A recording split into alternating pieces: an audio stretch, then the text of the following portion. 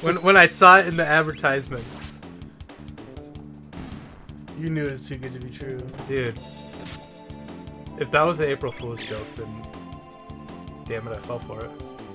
Hit us up in the chat if you remember the hot dog pizza advertisements. Confirm, make sure we're not crazy. Hit us up if you ever actually got a hot dog pizza, because as far as I'm concerned, it does not exist. Because I tried to order one when it was advertised, and from the place it was advertised from, and I was given the cold shoulder. Coldest of shoulders. Yeah, I was basically told, what? I was looked at like I was a fool for asking for. I mean, I get it. Because I'm asking for a hot dog pizza.